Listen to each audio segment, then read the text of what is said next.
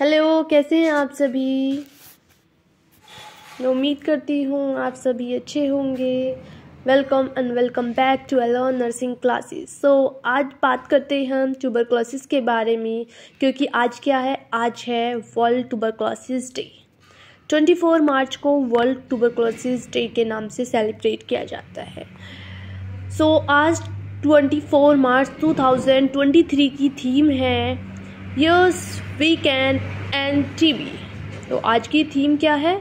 Yes we can end TB okay तो अब हम थोड़ा सा ट्यूबरक्लोसिस के बारे में जान लेते हैं कि आखिर ट्यूबरक्लोसिस होता क्या है, किस बैक्टीरिया से होता है, थोड़ा सुपरफिशियली जानेंगे, फिर नेक्स्ट क्लास में हम इसे डिटेल में पढ़ेंगे। तो क्या है ट्यूबरक्लोसिस ट्यूबरक्लोसिस जो है एक हाईली कम्युनिकेबल डिसीज़ है। ठीक है? अब इसका पॉजिटिव ऑर्गेनिज्म क्या है? पॉजिटिव ऑर्गेनिज्म की बात की जाए तो ये माइक्रोबैक्टीरियम ट्यूबरक्लोसिस की वजह से देखने को मिलता है। और जो माइक्रोबैक्टीरियम ट्यूबरक्लोसिस है, वो एक ग्राम पॉजिटिव बैक्टीरिया है, जो कि रोड सेप का होता है। जिसकी सेप कैसी होती है? रोड सेप होती है। ओके अब ट्यूबरक्लोसिस को हम डायग्नोज कैसे कर सकते हैं? आखिर कैसे पता लगा सकते हैं कि हाँ इस इंसान को टीबी है? ऐसा कन्फर्मेटरी डायग्नोसिस क्या है जिसे हम डायग्नोज कर सकते हैं ट्यूबिक ट्यूबरक्लोसिस को? तो इसका कन्फर्मेटरी डायग्नोसिस है स्पूटम कल्चर स्पूटम कल्चर के थ्रू हम क्या कर सकते हैं? ट्यूबरक्लोसिस को डायग्नोस किया जा सकता है। ये कन्फर्मेटरी डायग्नोसिस है। इससे बहुत बार क्वेश्चन पूछा गया है कि कन्फर्मेटरी डायग्नोसिस क्या है ट्यूबरक्लोसिस का? तो वो है sputum culture. Okay sputum culture कब का लेना है? कितना लेना है? तो स्पूटम कल्चर जो अर्ली मॉर्निंग हम स्पूटम कल्चर को कलेक्ट करेंगे। कितना कलेक्ट करेंगे? फाइव से फिफ्टीन एम हम ट्यूबर स्पूटम को कलेक्ट करेंगे और फिर इसका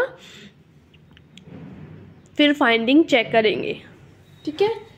ओके पेशेंट से बोलेंगे कि फोर्सफुली कफ करना है स्पोटम कलेक्ट करना है पाँच से पंद्रह एमएल ओके अब हम जानेंगे कि स्क्रीनिंग टेस्ट क्या है। कभी कभी पूछा जाता है कि ट्यूबरक्लोसिस का स्क्रीनिंग टेस्ट क्या होता है। तो ट्यूबरक्लोसिस की स्क्रीनिंग टेस्ट की बात करें तो ट्यूबरक्लोसिस का स्क्रीनिंग टेस्ट है मॉन्टॉक टेस्ट तो मॉन्टॉक्स टेस्ट क्या है? ट्यूबरक्लोसिस का स्क्रीनिंग टेस्ट है, जिसकी फाइंडिंग या फिर जिसका रिज़ल्ट जो कि ये क्या है? इंटरडर्मली हम इंजेक्शन जो स्किन में इंटरडर्मली इंजेक्शन इंजेक्ट करते हैं, ठीक है?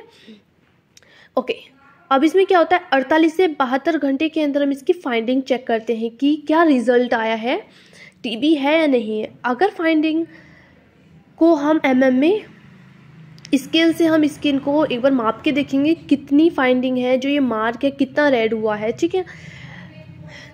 तो अगर ज़ीरो से फोर है, एम ज़ीरो से फोर एम mm है तो नेगेटिव होगा। अगर फाइव से नाइन एम mm है तो देखा जाएगा कि सस्पेक्टेड और बॉर्डर लाइन है, और पॉजिटिव है उन पेशेंट में जो कि माइक्रो इम्यूनो कॉम्प्रोमाइज़ है, जो कि इम्यूनो कॉम्प्रोमाइज़ है, उनमें पॉजिटिव है, जैसे कि एचआईवी वाले पेशेंट में। ओके और अगर टेन से अबव है तो वो जो पाँच साल से छोटे हैं, उनमें पॉजिटिव है पॉजिटिव रिज़ल्ट देखा जाएगा। ओके अगर पंद्रह से ज़्यादा है, पंद्रह एम से ज़्यादा है तो ये पॉजिटिव होगा सभी में। ठीक है? ओके तो आज हमने जाना कि ट्यूबरक्लोसिस किस बैक्टीरिया की वजह से होता है, ये क्या है, इसको, इसका बैक्टीरिया कौन सा होता है नेगेटिव होता है पॉजिटिव होता है, कौन सा बैक्टीरिया होता है इसका, हम इसको कैसे डायग्नोस कर सकते हैं स्पूटम कल्चर कैसे कलेक्ट करना है स्क्रीनिंग टेस्ट क्या है आज हमने इंपॉर्टेंट पॉइंट्स पढ़े। और इसका ट्रीटमेंट क्या है? अब हम बात करते हैं कि इसका ट्रीटमेंट क्या है। इसका जो ट्रीटमेंट है डॉट थेरेपी प्रोवाइड करते हैं। हम पेशेंट को क्या थेरेपी देते हैं? डॉट थेरेपी देते हैं।